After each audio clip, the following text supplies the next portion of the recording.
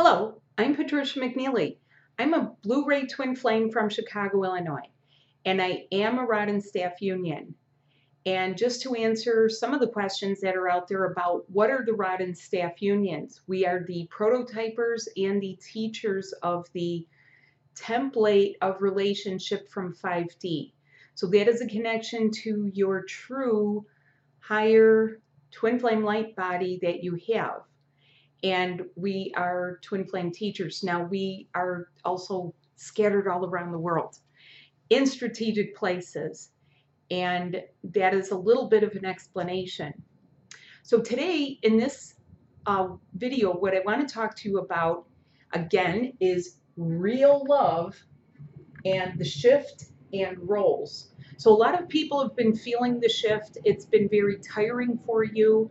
Uh, you've been feeling a different type of fatigue that you're not really quite sure where does it originate from. And I do have those answers, which I'm going to be talking about in my webinar. The Divine Feminine Lovers and the Feminine in Transition. And you each have masculine and feminine. So even though a lot of people out there will say, well, my DM this, my DF that, my TF this, my karmic that, uh, you have to know that those terms are pertaining to humans. However, the part of you that is actually divine masculine is a part of you, whether you're male or female, you're both. And if you're divine feminine, you are still divine masculine and divine feminine. It's already been wired up to you. And it is a part of you, and it is a part of your true, what is truly androgynous. So, androgynous doesn't mean you know, flavorless. It means having everything. Everything's packed within. Although it's been expanded to varying degrees with people. So what I want to talk to you about now is about the polarity and paradigm shift because these are actually two separate things. There is a complete shift out of the old paradigm and there is a shift in the polarities, which these are both shifts from duality and living dualistically. What is dualistic living? It means uh, cause and effect. It can mean I push buttons and I'm always going to know what the reaction is. It's even that third law of thermodynamics. For every action, there is an equal and opposite reaction, except when it comes to twin flames. Because when you try to provoke something up, sometimes you don't get the same reactions or you get no reactions. And this is where the rubber meets the road is that you have been the ones to shift out of the old paradigm. However, you are still releasing things. Some of the things that you're releasing have to do with roles. And what have some of the roles been for the divine masculine? What have some of the roles been for the divine feminine? So let's just say masculine and feminine. What have some of the roles been? What are some of the expectations? What are the mental, emotional, connections, connotations. What are your connections to your collective and those traditions? Okay, so this is going to come up to bear on people where you're talking about not just ancestral stuff, but tradition. How does it pertain to modern life? Roles, sex. Okay, this is not just an attitude towards sex, this is actual sex and what's happening in the world. Also, money and money traditions.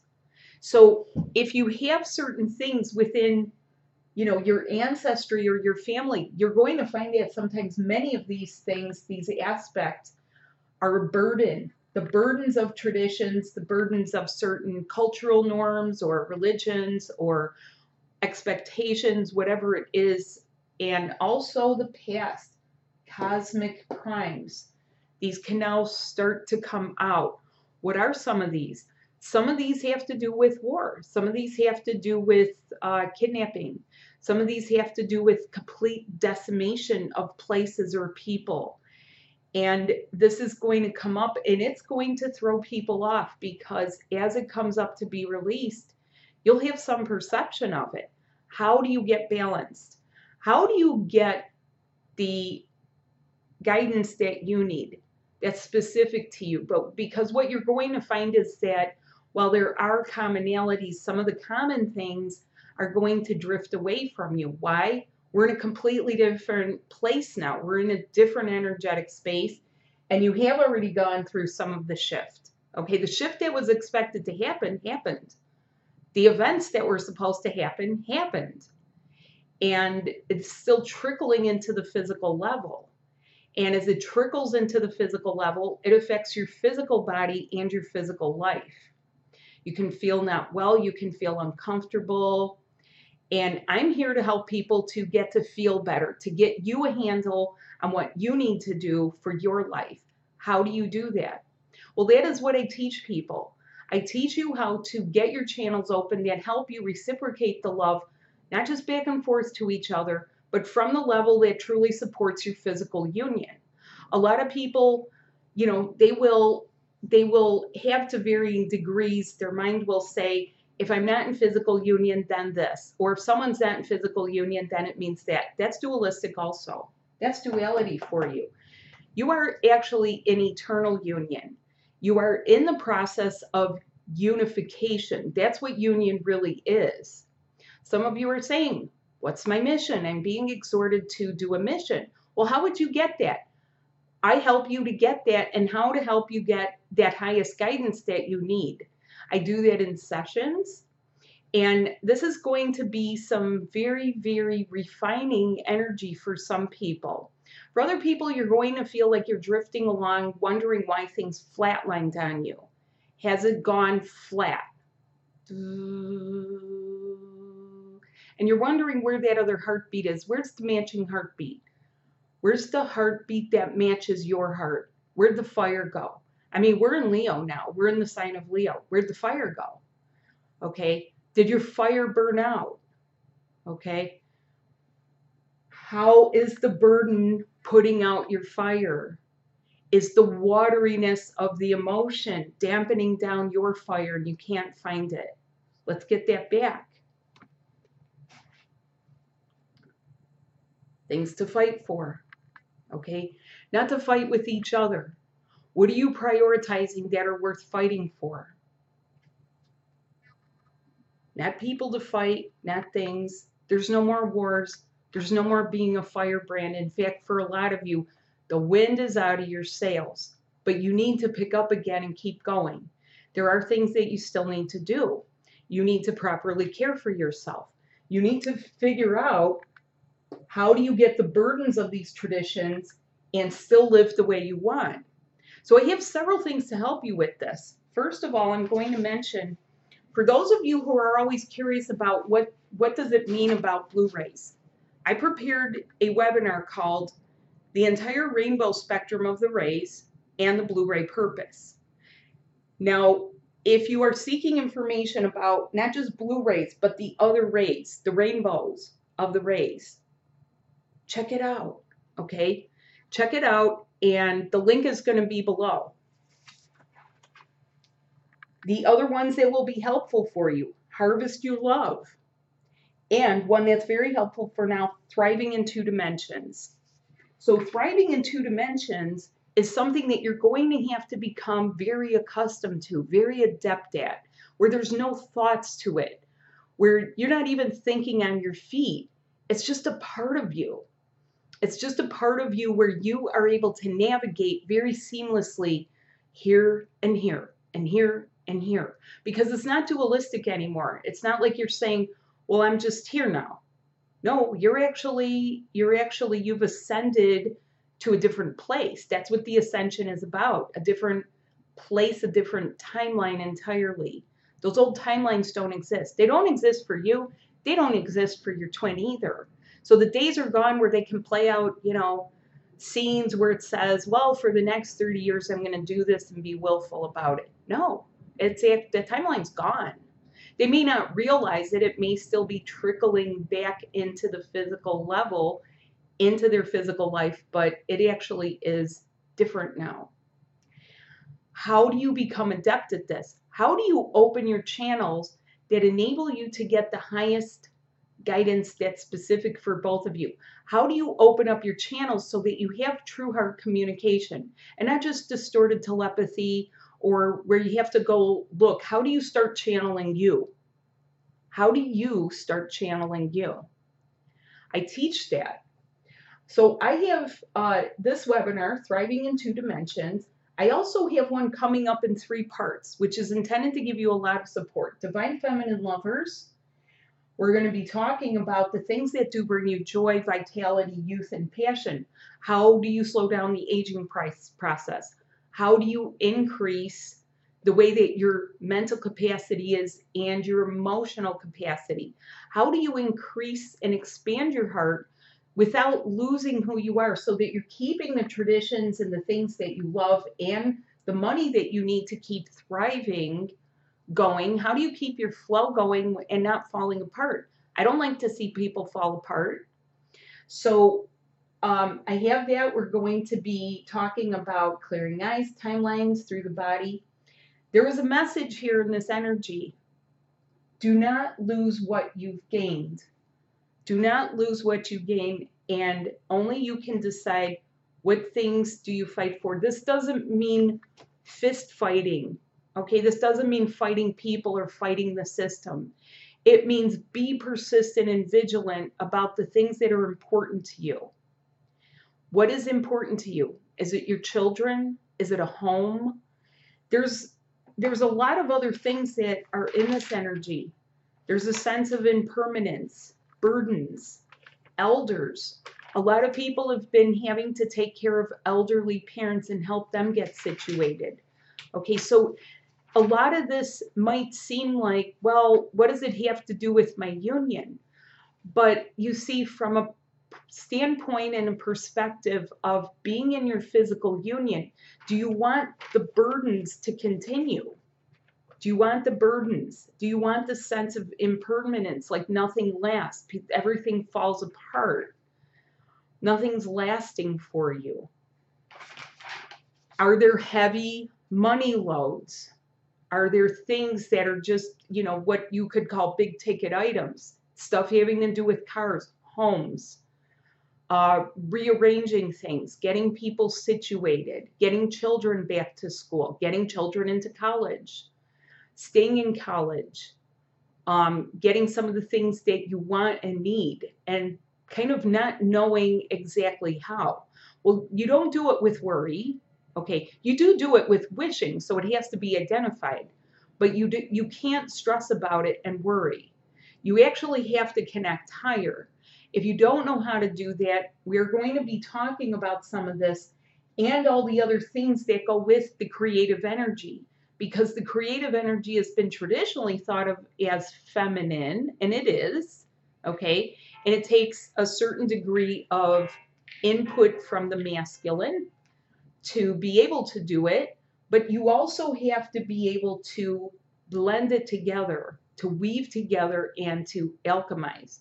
The true alchemy happens within your body and above you. And it happens through your channels and it starts to resort things. How do you get that? How do you get to that level? That is what I'm here to teach people. So I teach about the twin flame body and I also um, teach people how to not lose what they've already gained. If you've already gained ground, you don't want to slide back, even if it feels that way. And this is a distinct message to this. Okay. For example, if you fought for equality, if you fought for an equal paycheck, don't roll over on it. But nor do you have to fight anymore. You see, there's a paradox there. It had to be fought for. Now there's no more fighting, but there is a sense of maintaining and being vigilant. Okay. Things to fight for and things we've fought for. Okay things we've harvested because we have fought for it. Now we can reap the benefits of it. So if any of these interest you, please check out the link below. Also, I've been having a lot of people that have uh, really benefited from some one-on-one coaching and moving their energies, where they're seeing some very distinct shifting within days of meeting. So if you would like something that combines a reading along with moving your energy and starting things to shift, and I do provide you with some support material, reach out to me. So I have I have a webinar, okay? I have my recorded webinar, which is Thriving in Two Dimensions and Harvest Your Love. And I have a class here in Chicago. It is a one day class at the Infinity Foundation. And, you know, this would be a very nice introductory one for someone who's not sure they're on the twin flame journey. Are you on a twin flame journey? Well, one of the first ways to know is your life goes upside down very quickly. So if that's happened for you, or if it's happened already and you wondered about it, chances are you are. However, there's reasons and there's really positive things to do about it. I also do readings, okay? I read the heart energy. I'm not reading the mind. And one of the differences is that while I can feel things here, when you start talking to me, you open up your heart energy. It's that simple. Your voice carries the vibration of your soul and it starts to open. And that's how I feel. And I'm able to sense. Now we go from there and we start getting things situated for you so that you have a direction, even though you're in the direction. But sometimes it gets a bit much on this journey. Sometimes people get overwhelmed. That is another prominent energy right now and emotion, overwhelm, just flat out exhausted, just flatlined, not sure what to believe anymore. And every time that happens, you have to steer it back and say to yourself, I'm here for real love. I don't know about, you know, all kinds of stuff like, uh, you know, whether it's new agey or old agey or you know, it's about this. Does it involve having to learn ancient languages? No, it has to do with being loved, feeling love, feeling loved again and again and again, and receiving love. And that's what it has to do with. So if this sounds interesting to you and you feel it would help you and you feel, okay, don't fight it, okay? Don't fight. Make small changes that would make a big change. Come and join. Come and try. Come and ask me. My website is www.twinflamesmerge.com. I'm all about the body because that is where you first felt the love, and that's how you're going to end up together, physically touching and holding each other and living together, if not already. And that's also how you're going to get the heck out of here is through your body. So come and find out, get the ball started, get it jump started. If you are learning some things, some of those things might be old paradigm. You don't know. But if it's starting to not work for you, it's okay. Okay, maybe it helped you for a time. Maybe it was one of those stepping stones. Just like some of the soulmates, they've been stepping stones along your path. That's fine. It's fine. Okay? You don't beat yourself up for it. You have to feel what things to fight for. Okay? So take good care of yourself. Remember, you're here for real love and come join, come and participate. So thanks so much. I hope you have a wonderful day. I hope you have a wonderful week. And please know that come October, there's going to be another Shake the Foundations time. Why don't you get a jump start on it and find out? Because I do help people. We had a great time in my Lionsgate webinar. A lot of things learned, a lot of great participation and sharing, and a lot of laughs and a little bit of crying because it's all about feeling, feeling the love. So thanks so much. Bye.